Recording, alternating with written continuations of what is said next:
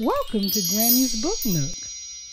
Today's story is Marcos Cinco de Mayo, written by Lisa Bullard, illustrated by Holli Conger. What is Cinco de Mayo? Hi, I'm Marco. See my costume? It's for Cinco de Mayo. That's a holiday that started in Mexico. People there speak Spanish. Cinco de Mayo means the 5th of May in Spanish. Mexico is a neighbor of the United States.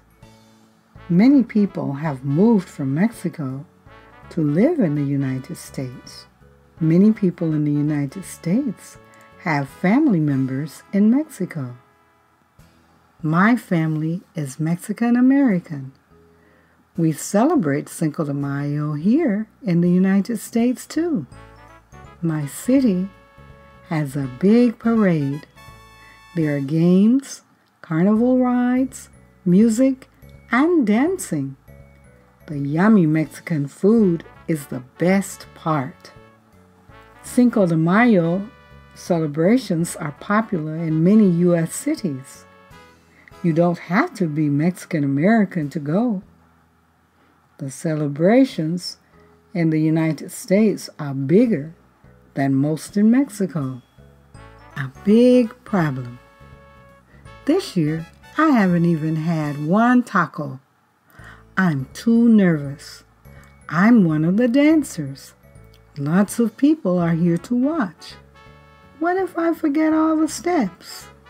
Dancers and other people wear costumes for Cinco de Mayo. The costumes are based on different times and places in Mexico's history. There's my cousin Diego. He's the one who taught me this dance. Last night, Diego told me a story. He said it would help if I felt afraid, brave and proud. Diego told me about the first Cinco de Mayo it happened about 150 years ago. France sent many soldiers to Mexico to start a war. People thought the French soldiers were the best in the world. Spain ruled Mexico for hundreds of years. The Mexicans fought a war to be free from Spain from 1810 to 1821. When the French soldiers came in 1861, the Mexicans got worried. They did not want to lose their freedom again. The Mexican army was small, but the Mexicans were brave and proud of their country. On May 5, 1862, they did something surprising. They won a big battle against the French soldiers.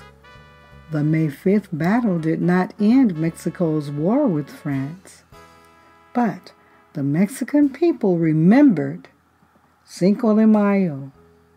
They kept fighting. Finally, they won. I can be brave and proud too.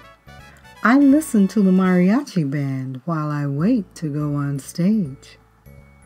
Suddenly, my feet are ready to dance.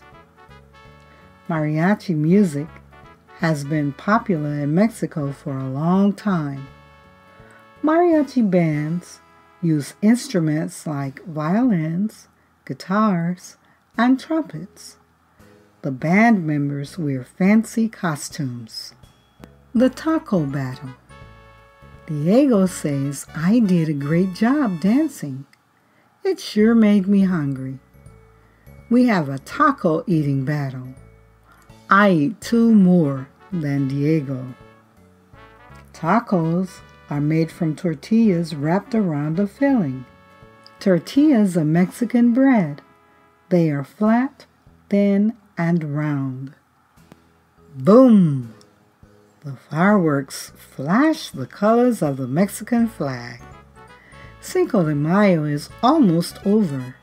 But tomorrow, I'm going to practice my dancing again. I will be ready to dance again next May 5th.